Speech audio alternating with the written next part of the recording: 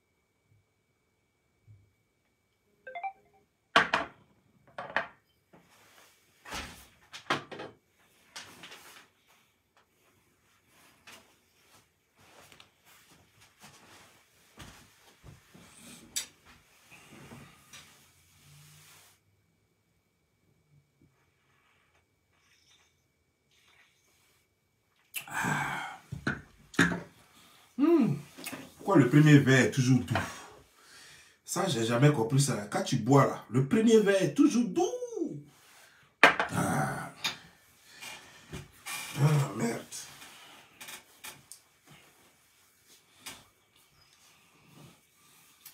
Ah, Vous-même mettez le titre. Nous allons décrypter quelque chose que j'ai vu tout à l'heure.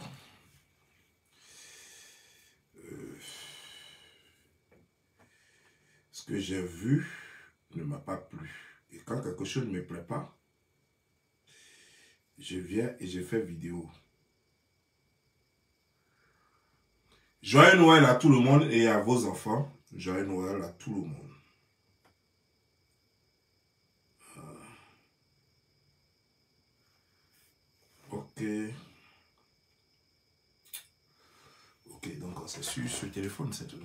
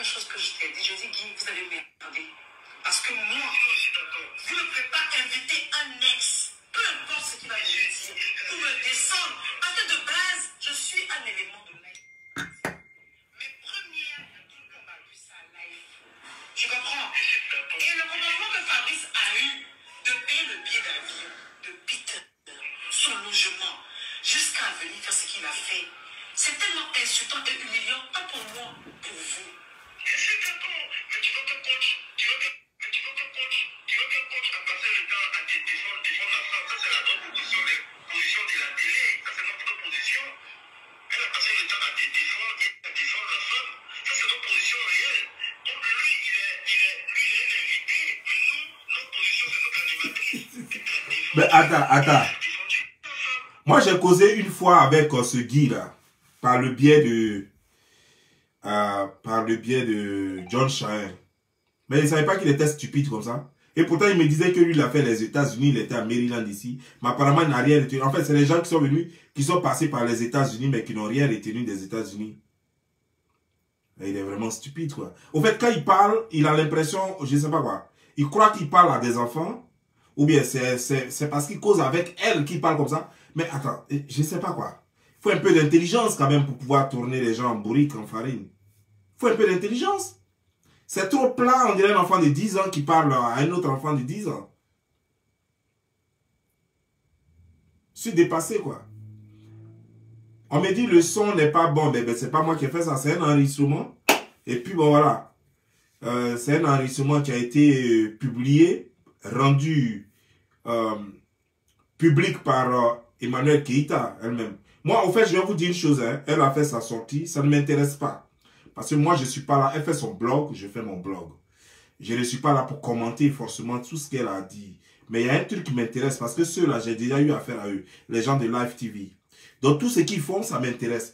Et ce voice publié par Emmanuel Keita m'intéresse. Sinon, sa déclaration avec euh, euh, à mon tout ça, j'ai vu, il y a plein de choses à dire là-bas, mais je ne veux pas parler parce que je ne suis pas là pour commenter ces, euh, comment dire, ces sorties. C'est pas ce que moi je fais. Voilà.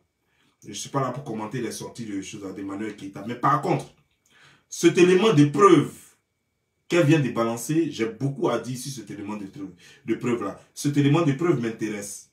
Et c'est pourquoi je, fais, je suis en train de faire cette vidéo. Donc on va écouter, on va écouter jusqu'à la fin et je vais reprendre l'enregistrement et puis maintenant on va parler.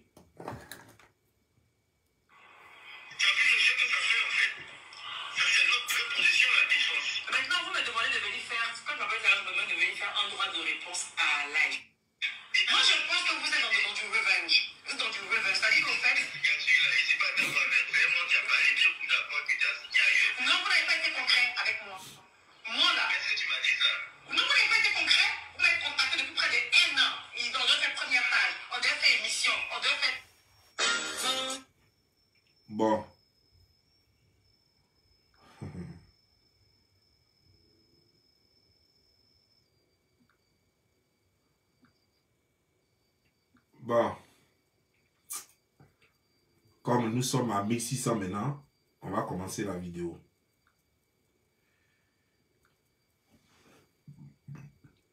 Sorry.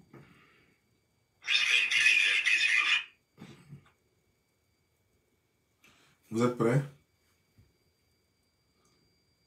C'est Emmanuel Keita qui a publié ça. Voilà, c'est Emmanuel Keita qui a publié ça.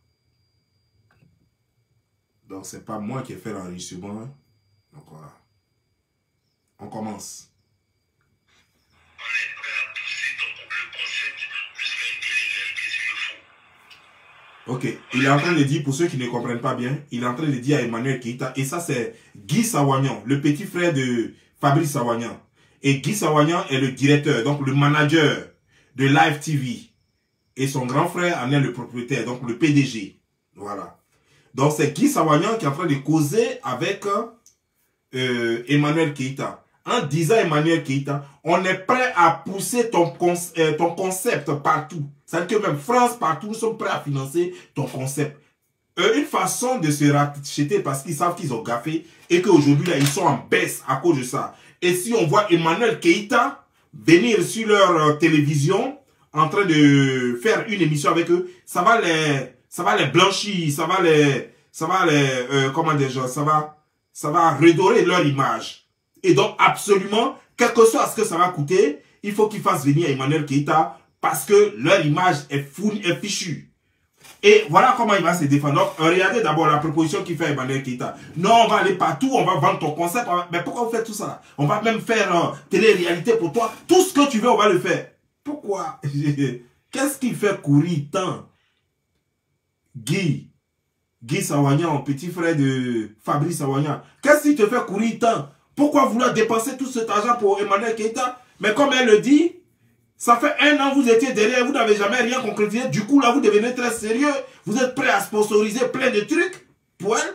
Il semble que, moi je n'ai pas regardé, mais il semblerait que vous lui avez proposé même 25 millions de francs CFA. C'est ce qui fait dans l'ordre de 40, euh, plus de, c'est ce qui fait dans plus de 50 000 dollars.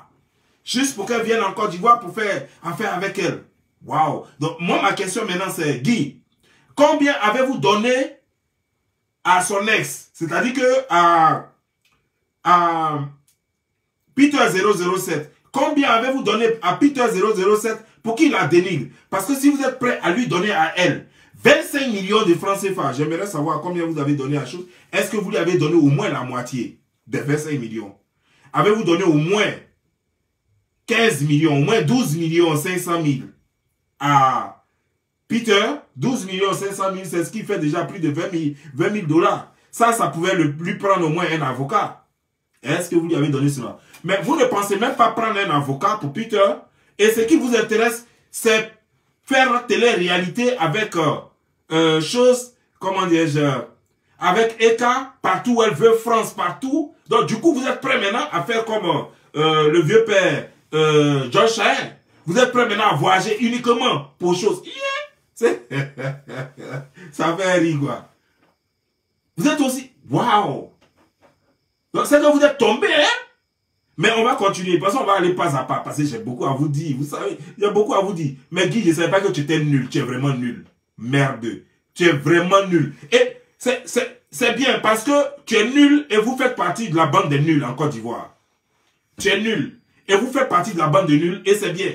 Le seul compétent dans votre bande là-bas, le seul compétent, et vous il vous fait faire des choses avec ceux qui sont sous ses ordres directs. Il leur fait faire des choses qu'ils ne voudront jamais faire. Mais sur tout le reste, vous êtes vraiment nuls. Mais on va aller, on continue.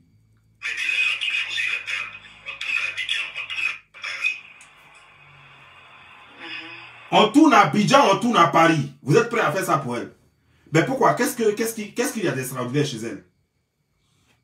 Vous êtes prêts à tourner avec elle? À Abidjan, à Paris. Mais dans ce cas, pourquoi vous n'avez pas tourné avec euh, euh, Peter depuis Paris? Pourquoi vous n'êtes pas déplacé pour faire l'enregistrement avec Peter à Paris et, vous et puis vous l'avez fait déplacer jusqu'à Abidjan? Pourquoi? Et vous saviez pourtant qui est Peter. Vous saviez ses antécédents avec le gouvernement ivoirien. Et pourquoi vous n'avez pas fait l'enregistrement depuis Paris? Donc c'est maintenant que vous êtes capable maintenant de faire ce genre d'enregistrement. Mais pourquoi vous n'avez pas fait ça avec Peter? Parce que maintenant le contrat est rempli. On vous, Alassane Draman Ouattara et son gouvernement vous ont donné beaucoup d'argent maintenant. Les poches sont remplies maintenant. Vous voulez maintenant euh, comment dire, racheter votre image avec Eka. Il faut qu'elle vienne maintenant pour laver votre image maintenant. Parce que c'est à terre. Vous êtes à terre. Vous êtes à terre. Personne ne veut de vous. Personne ne veut vous regarder. Et même, ça va toucher votre campagne. En fait, c'est que vous savez que vous perdez gros. Ce n'est pas seulement une question de télévision. Mais même la campagne de ton frère en 2025, il s'est passé en 2025, euh, la campagne à la mairie du plateau, ça là, ça va prendre un coup aussi. Et vous savez que vous avez beaucoup à peine. Donc vous êtes même prêt même à dépenser 100 millions. Si même aujourd'hui là, si Eka dit, bon, donnez-moi 100 millions de francs CFA, et puis je viens faire l'interview, vous allez payer ça parce que vous savez combien vous avez à perdre. Et vous savez que le seul passage d'Eka, la seule personne qui peut laver votre image, c'est Eka. Il n'y a personne d'autre. Parce que c'est Eka qu'on a critiqué. C'est Eka qu'on a sali. Et donc la seule personne qui peut laver votre image aujourd'hui, vous savez que c'est Eka. Même si Eka dit donnez-moi 200 millions, vous allez payer. Et vous le savez. Et tu lui parles comme un enfant. Non, on va faire tes trucs ici. Alors que tu sais très bien que si Eka te dit je veux 200 millions, tu sais que tu vas payer ça. Tu sais que tu n'as même pas d'indemnité. Tu vas partir, tu vas venir, tu vas croire qu'elle va changer. Si elle ne change pas sa position, tu vas payer 200 millions. Juste pour qu'elle vienne à Abidjan pour faire l'interview avec vous. Tu sais ça très bien. Parce que tu sais que ce n'est pas simplement une histoire de télévision. C'est une histoire de politique aussi. Et vous avez beaucoup à gagner dans la politique. Si jamais ça marche. Et vous avez besoin de laver votre image. Mais on va aller encore.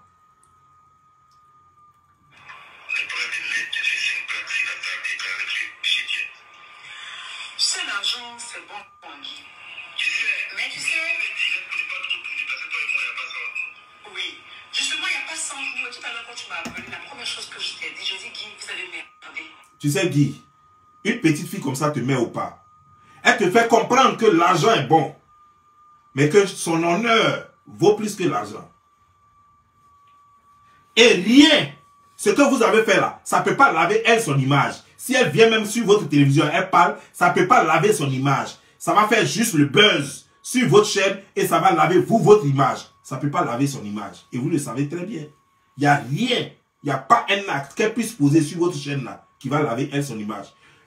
L'acte qu'elle va poser sur votre chaîne ne fera que laver vous votre image. Et vous le savez.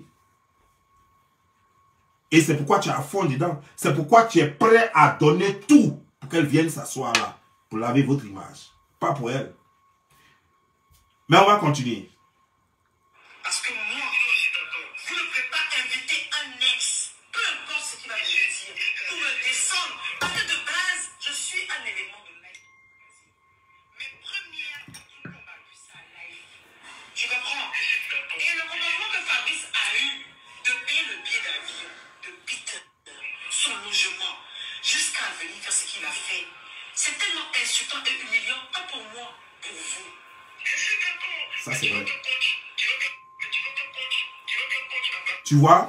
Elle met votre responsabilité, la, responsabilité de la télévision, la, responsabilité de toi, Guy même, en tant qu'homme d'affaires, et la responsabilité de Sawagnan en tant qu'homme d'affaires. C'est-à-dire que Francis, ton grand frère, Fabrice Sawagnan.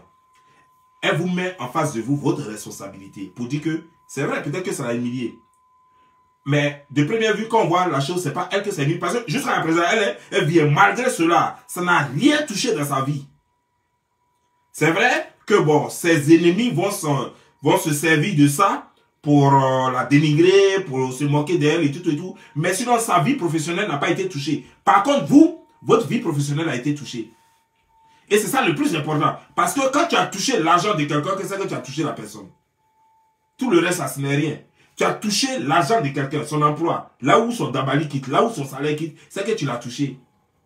Donc, quel que soit ce que vous avez fait contre elle, là, ça la touche peut-être, mais ça ne touche pas sa profession. À partir du moment où ça ne touche pas sa profession, ça touche que sa vie privée. Les gens qui vont aller la draguer vont me dire que c'est pas une fille sérieuse. Les gens qui vont vouloir coucher avec elle vont dire que non, c'est pas une fille bien, euh, qu'elle peut les escroquer, tout et tout. Mais le domaine dans lequel elle exerce, ça ne touche pas le domaine. Parce que c'est une euh, artiste qui se veut comédienne sur les réseaux sociaux. Et ça là, tant qu'elle a la visibilité, n'importe qui peut la prendre pour faire son show. Donc ça ne touche pas. On s'en fout si elle couche avec 40 garçons. Le business, le business dans lequel elle exerce n'a pas besoin de ça. On s'en fout si, euh, elle est une femme euh, qui a pris, qui, avec qui quand tu sors, elle peut prendre ton argent pour bouffer. Ce business s'en fout de ça. Tu fais ton rendement, on te donne ton cachet. C'est clair. Tu fais ton rendement, on te donne ton cachet. C'est dans le business dans lequel elle exerce. Donc son business n'a pas été touché. Par contre, vous, votre business a été touché. vous, par contre, votre business a été touché. C'est-à-dire qu'aujourd'hui, là, aucun follower ne va là-bas. C'est-à-dire qu'aujourd'hui, là, votre émission euh, Allo Baka est tombée. Pourtant, on avait crié un moment. Mais on n'a pas réussi à faire tomber l'émission. Mais un seul passage de Peter parlant de choses comme les Eka. Et Peter, après ça, va en prison. Ça casse l'émission. Ça casse l'émission, ça casse la TV. Aujourd'hui, vous êtes fini. Vos concurrents sont en train de jubiler, vos concurrents sont en train de danser. Vous êtes mou. En tant qu'homme d'affaires même déjà, votre image même prend un coup. Ça ne s'arrête pas au niveau de la télévision seulement. Ça ne s'arrête pas au niveau seulement de votre émission euh, Allo Maca ou bien votre chaîne de télévision Live TV. Non, non, dans vos propres affaires de communication parce que euh, avant tout, au départ, votre organisation, c'est une organisation de communication. Vous êtes dans beaucoup de choses. Même dans, la, dans la télécommunication et tout ça. Vous êtes dans beaucoup de choses. Donc déjà, même votre crédibilité, même en tant qu'homme d'affaires, prend un coup. Déjà. Parce qu'on sait que euh, vous êtes un traître, vous avez fait venir quelqu'un que vous avez foutu en prison. Donc euh, des concurrents peuvent vous prendre pour biaiser les affaires des autres. Voilà. C'est-à-dire que euh, un concurrent peut se servir de vous pour biaiser ses affaires, pour mettre son entreprise en mal. Personne ne va vouloir vous faire confiance. Donc sur tous les plans, vous êtes mal. Et la seule personne qui peut vous sauver, elle s'appelle Eka. Si elle vous dit un milliard, vous n'avez pas ça pour la payer. Mais si elle vous dit 200 millions, vous pouvez trouver ça pour lui donner. Vous êtes prêt à dépenser 25 millions. Mais comme elle ne sait pas, elle ne sait pas la valeur qu'elle a en ce moment devant vous, c'est pourquoi elle va s'amuser avec ça. Sinon, même si elle vous dit 200 millions, 300 millions, vous allez payer ça. Vous allez payer ça propre, propre. Parce que c'est vous qui êtes dans l'ennui. Elle, elle n'a pas d'ennui. Et vous avez besoin d'elle plus que jamais. Vous aviez voulu lui faire du mal. Et ça s'est tourné, retourné contre vous. Soit, ça veut dire que dans la vie, quoi, quand tu n'as jamais fait du mal à quelqu'un, tu n'as jamais pensé du mal de quelqu'un, et puis la personne veut tellement te nuire, que ça se retourne. C'est-à-dire que c'est retour à l'envoyeur. C'est-à-dire que c'est comme si tu étais né avec quelque chose sur toi, quand on lance les flèches là, ça tape, boum, et puis ça se retourne contre eux-mêmes. Elle vous a jamais rien fait. Elle ne m'a dit, dans ça là, dans cet enregistrement, elle dit qu'elle est produit de Life Magazine. Au moment où vous aviez créé Life Magazine, elle est produit de ça. Donc il y a une bonne communication entre vous, il y a une bonne relation professionnelle entre vous. Qu'est-ce qui s'est passé pour aller prendre son ex, pour la dénigrer? Il y a eu quoi? À cause de quoi? En réalité, ce n'est pas son ex que vous vouliez dénigrer, parce que Eka est là il y a longtemps. Et cette histoire de son ex avec elle, là, ça date depuis l'année passée. Et Live TV est là depuis plus de, plus de deux ans. Donc ce n'est pas une question de... Mais c'est maintenant qu'on vous a fait la proposition de faire venir Peter pour le mettre en prison. Et donc la seule chose que vous aviez, vous n'aviez rien. Puisque Peter ne peut pas parler politique. Vous ne pouvez pas l'inviter pour parler politique. Vous ne pouvez pas l'inviter, mais le seul pas, c'est de dire à Peter, rentre en Côte d'Ivoire, tu vas parler des cas. C'est la seule chose qui peut faire bouger euh, Peter. Et c'est ce que vous avez fait.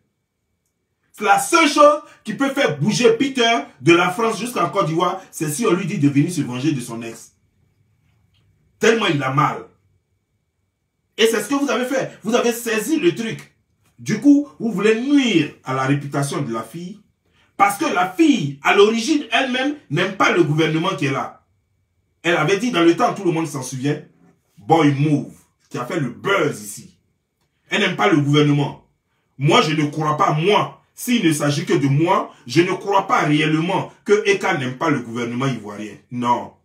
Elle a eu un buzz, elle a saisi le buzz, c'est tout. Elle était en baisse à un moment donné, elle était en baisse, elle a eu un boy, un buzz, elle s'est jetée dedans. Elle est rentrée dans plusieurs buzz comme ça. Sinon, elle n'a rien contre le gouvernement en place. Mais, ce n'est pas tout le monde qui prend ça comme ça. Beaucoup ont pris ça au premier degré.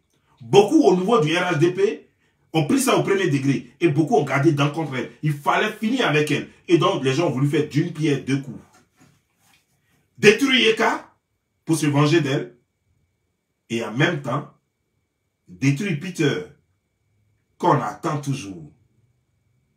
Et détruire Peter, en même temps, ça va servir aussi d'exemple aux autres blogueurs. Aux autres blogueurs qui pourraient parler, surtout que les élections arrivent bientôt, et que toi-même, Fabrice Awanya, tu veux être candidat au plateau, alors il faut apeurer un peu les blogueurs parce qu'il y a beaucoup de blogueurs qui ne t'aiment pas. Donc faire cela, peut-être que ça va amener les blogueurs. Et toi, tu étais sûr, pas peut-être même. Tu étais tellement sûr que en faisant cela, ça va apeurer tous les autres blogueurs. Tu ne sais pas que ça a juste mis ça a juste jeté quelque chose dans l'oreille des blogueurs. C'est-à-dire que vous avez juste attiré leur attention que la Côte d'Ivoire peut être dangereuse, qu'il ne faut pas y mettre pied. Mais vous ne pouvez pas les arrêter. Les gens ne peuvent pas arrêter de faire vidéo. On n'arrête pas du jour au lendemain de faire vidéo. Même quand on veut, on ne peut pas. Non.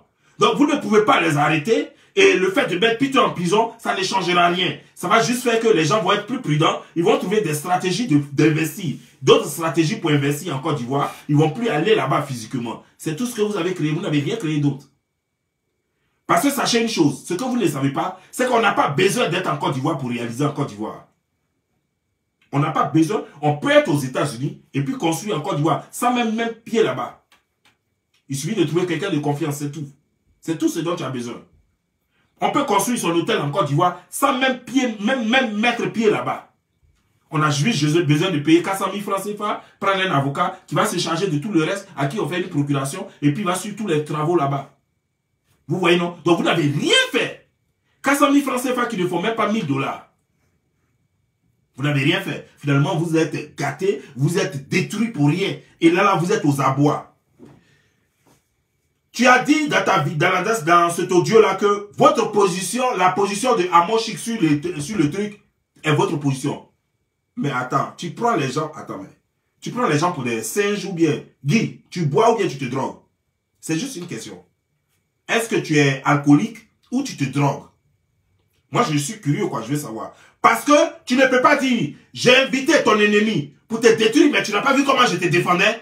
Mais est-ce que tu étais obligé d'inviter l'ennemi même pour en parler? Moi, je comprends pas quoi. Est-ce que tu étais obligé d'inviter l'ennemi de Eka? Tu étais obligé d'inviter l'ex de Eka? Si tu n'invitais pas l'ex de Eka, ça fait quoi? Pour au lieu de dire, non mais tu sais, euh, Eka, faut pas te fâcher, hein. tu sais, je suis de ton côté, tu sais qu'il n'y a pas ça de nous. Hein. Je l'ai invité, mais tu as vu que nous, on a dit à, à mon chic de te défendre. Attends.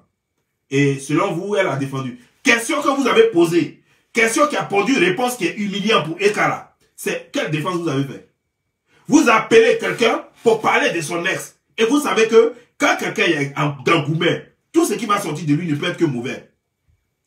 Et vous l'appelez et puis vous dites, oh non, ne, t'inquiète pas, tu dois nous remercier. On t'a défendu, hein? On t'a bien défendu même. Oh, oh, oh. Tu sais pas quand t'a défendu? Sinon, normalement, on aurait pu croiser les bras et puis le regarder te démolir. Mais tu as vu que par moment là même, on voulait même pas le laisser parler. Ça, c'est défense là. Ça, c'est l'excuse que vous avez trouvé là, qui là, là. Donc, attends, je veux savoir où. Je prends un exemple. Je m'en vais prendre l'ennemi de Fabrice Sawagnon, qui s'appelle par exemple Guy Sawagnon. Je le fais venir, et puis je dis, Il faut tirer sur Guy. Eh, il faut tirer sur Fabrice. Guy, voici fusil. Voici balle. Il faut tirer sur Fabrice. Et puis, quand il voulait tirer net, quand il a, il a, il a essayé de tirer net, moi j'ai mis feuille devant lui, j'ai fait ça. Et puis on m'a demandé, on dit, mais attends, pourquoi tu peux appeler le gars là puis dire, tu tuer Fabrice? Et puis je lui ai dit, oh mais tu n'as pas vu, moi je ne l'ai pas appelé pour tuer Fabrice. Hein. C'est vrai, je lui ai donné le fusil. C'est vrai, je lui ai donné les cartouches. Mais tu n'as pas vu qu'au moment où il voulait tirer là, j'ai mis la feuille devant, j'ai fait comme ça. Pour ne pas qu'il voit. Mais balle là l'a touché quand même. Mais moi j'ai fait des efforts, hein. J'ai mis feuille pour ne pas qu'il puisse tuer. Et ça, c'est quoi Tu donnes les balles, tu donnes le fusil, tu montres où est la cible, et puis le gars, il tire, et puis tu dis que tu as mis feuille devant. Ça, c'est l'intelligence que tu as appris à Maryland Lagui. C'est comme ça, tu es tellement intelligent que c'est toutes les suces que tu as trouvées. C'est toute ta défense, ça. C'est ce que tu peux donner à une petite fille comme Eka.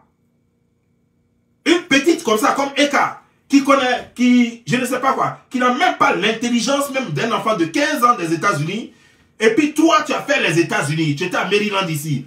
Donc tu es venu ici, là, apparemment tu n'es même pas, tu n'es même pas allé à l'école où tu n'as rien appris, quoi. C'est ta défense, toute ça, toute faite, que tu es en train de lui donner ça. Que non, tu sais, j'ai payé le billet d'avion de quelqu'un, euh, j'ai payé son logement, j'ai payé euh, tout ce qu'il y a. Je lui ai donné ma plateforme pour te critiquer, pour te gronder. Mais au finish, j'étais là aussi pour te défendre. Alors que tu aurais pu simplement ne pas inviter la personne. C'est pas aussi simple que ça. Est-ce que c'était pas mieux si tu n'invitais pas la personne? C'était pas mieux si tu faisais pas toutes ces dépenses-là? Billets d'avion, hôtel et tout ça là. C'était pas mieux? Attends, tu es stupide? Ou alors tu veux jouer les stupides. Guy, je comprends pas. Ou alors tu connais la vérité, mais tu te dis elle est trop stupide pour croire que tu es innocent. Que tu peux lui donner n'importe quoi, n'importe quelle excuse, n'importe quelle baliverne, tu peux lui faire accepter ça et puis elle va boire ça. Qu'elle n'est pas suffisamment intelligente pour comprendre ton jeu. Je veux bien y croire. J'attends de voir. Mais si elle a publié ça aujourd'hui, ça veut dire qu'elle ne t'a pas cru. Parce que si elle t'avait cru, elle n'allait jamais publier ça c'est que cette petite, elle a été plus maligne que toi. Non seulement elle t'a enregistré, stupide que tu es, elle t'a enregistré et elle t'expose aujourd'hui. Elle t'expose parce que tu t'es tellement foutu d'elle qu'elle ne peut pas garder ça. Tu t'es tellement moqué d'elle, toi et ton frère, vous êtes tellement moqué d'elle, que, et puis tu crois que tu peux régler ça avec l'argent. Non, on va te faire faire une émission, même en télé-réalité à toi seul. C'est-à-dire que tu es là, tu veux la faire rêver avec l'argent. C'est-à-dire que son honneur n'est rien, ce que vous avez bafouillé, tout ça pour vous ce n'est rien. Ce qui importe, c'est les miettes que vous allez lui donner après, qui ne pourront rien remplacer. Au contraire, qui vont vous rendre service. Non mais attends, je...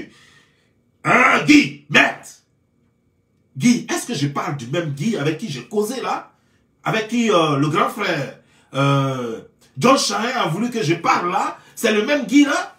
Mais attends, tu es aussi stupide que ça, mon gars. Man, are you crazy? Are you mad? That's why, that, that is how you show how much you are smart.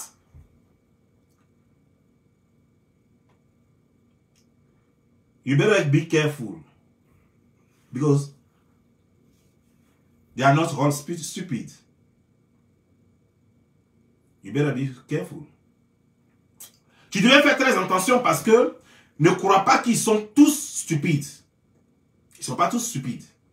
Tu peux peut-être penser que tu peux manipuler tout le monde, comme de la façon dont tu as manipulé facilement euh, Peter 007, mais ne crois pas que tu peux manipuler tout le monde. La petite a montré qu'elle n'est pas manipulable.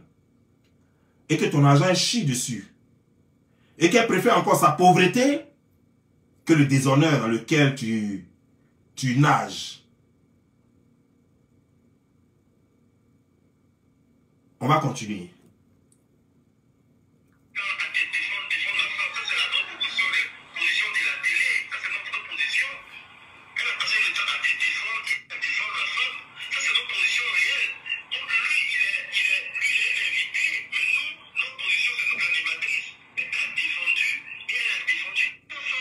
D'abord, un, je ne sais pas ce que vous appelez défense, mais défense, c'est donner des arguments. Nous avons vu une, émission de 1h24.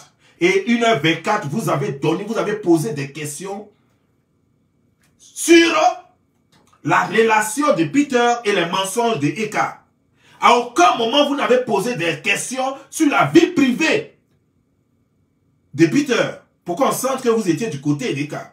Par exemple, mais toi, Peter, un moment ici, on t'a appelé Gigolo. Est-ce que c'est pas toi qui voulais escroquer Eka? Est-ce que Eka t'a pas acheté des, chaussures? Est-ce que Eka n'a pas fait cela? Est-ce que Eka n'a pas fait ceci? Est-ce que vous avez essayé de parler des relations de flottage de l'invité? Non! Vous n'avez pas parlé des relations de flottage de l'invité. Vous êtes concentré en posant des questions sur la relation d'avec Eka et lui. Alors que le monsieur avait d'autres relations où il était traité déjà de flottage. Au moins quatre relations. Où il était déjà traité de flotteur et de gigolo. Donc, et puis vous dites que non, on est venu te défendre. À quel moment vous êtes venu défendre? Donc, euh, c'était ça, quoi. Donc, vous alliez aussi défendre aussi Elise, quoi. Quand vous avez voulu que Elise parle de sa relation avec Ténor, vous alliez le défendre aussi. C'est ça, non?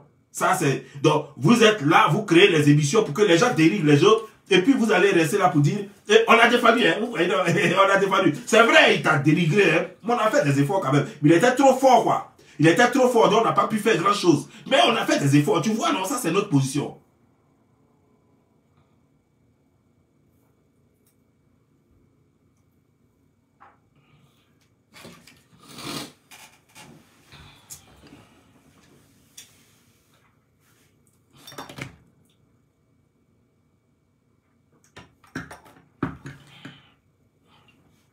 Vous êtes foutu.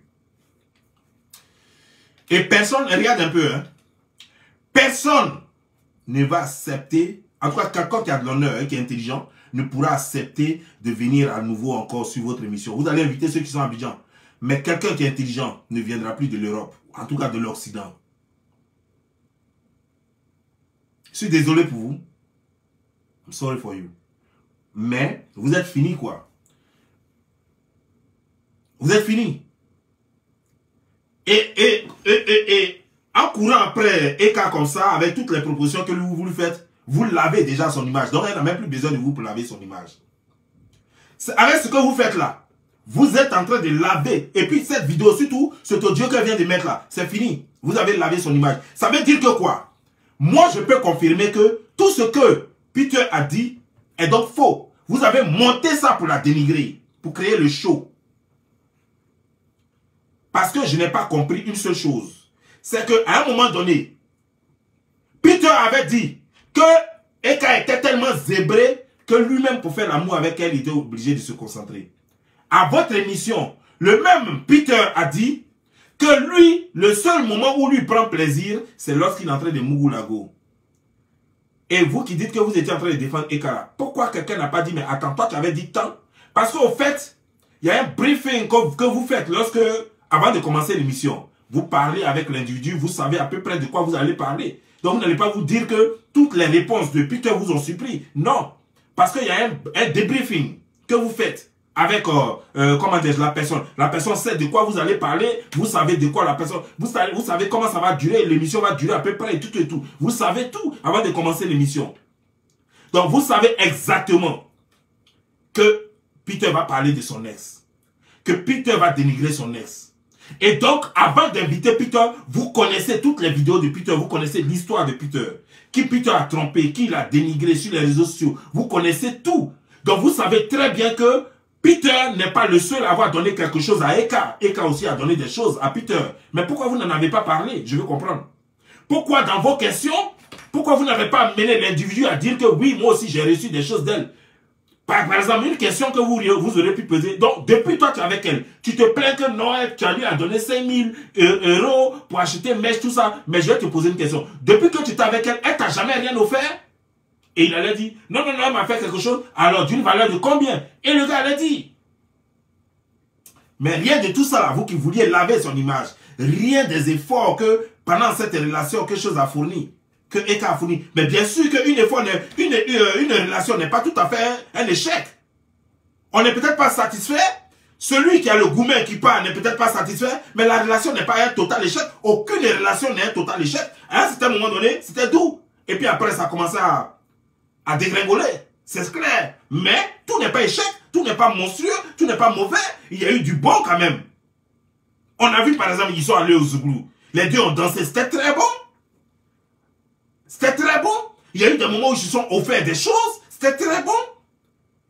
Mais pourquoi ces, ces moments-là? Pourquoi personne n'a fait allusion à ça? Pourquoi on n'a pas amené Peter à en, parler? Vous achetez l'arme, vous achetez les balles, vous achetez euh, euh, tout ce qu'il faut pour pouvoir fusiller Eka. Et vous venez dire que vous avez essayé de mettre des branches devant le fusil pour ne pas que le tireur voit clair après qu'il est déjà visé. Vous êtes mauvais, Guy. Tu es mauvais et tu es malhonnête comme ton grand frère. Tu es malhonnête comme Fabrice.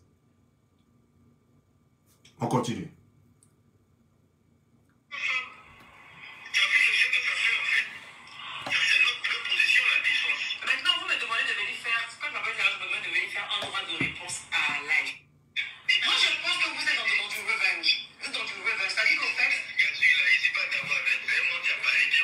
Non.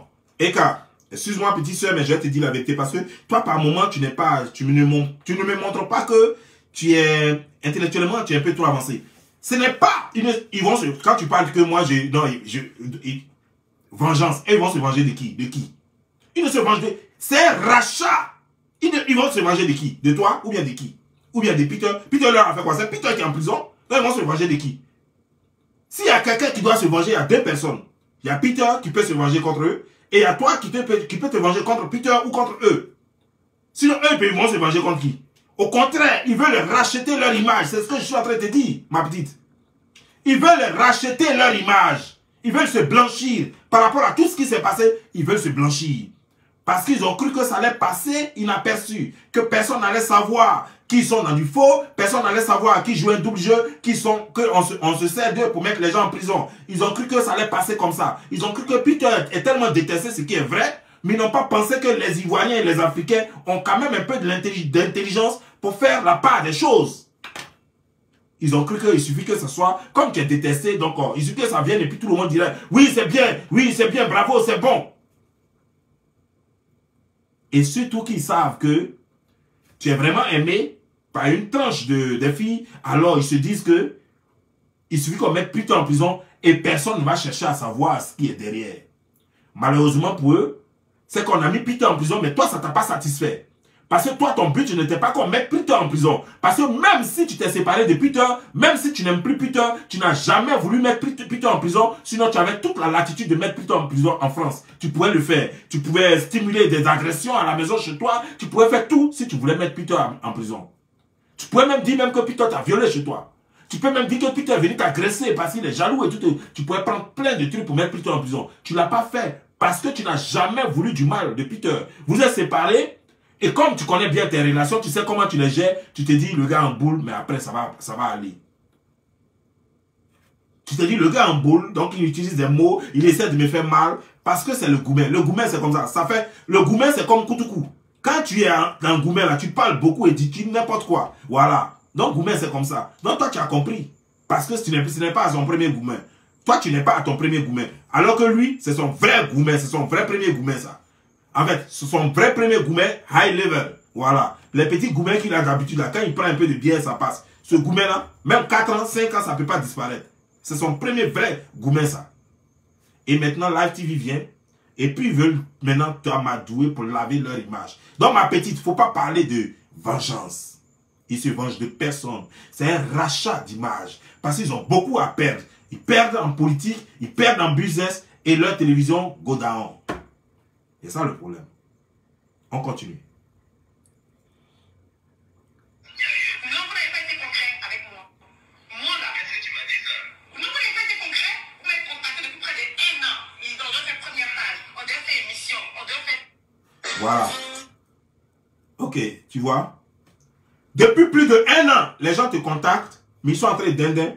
Parce que tu sais, avant, tout n'était pas rose. Tu étais aussi attaqué, les gens disaient plein de choses sur toi. Aujourd'hui, ta valeur a trois fois plus augmenté. Pourquoi? Parce que tu peux changer leur destinée. Tu les as jamais intéressés réellement. Tu les intéresses, mais.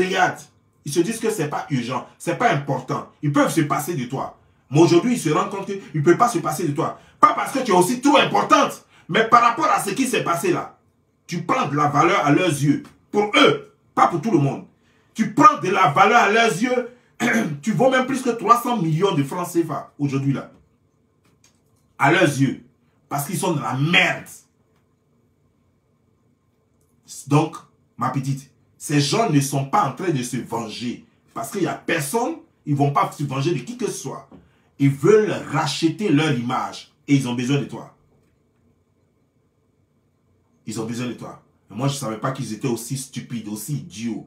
Que ces gens-là étaient vraiment des cons, quoi, de la dernière classe. En tout cas, ma petite, tu as bien fait. Tu as bien fait. Ne pas leur accorder euh, du crédit parce qu'ils ne méritent pas. Ton honneur vaut plus que tout.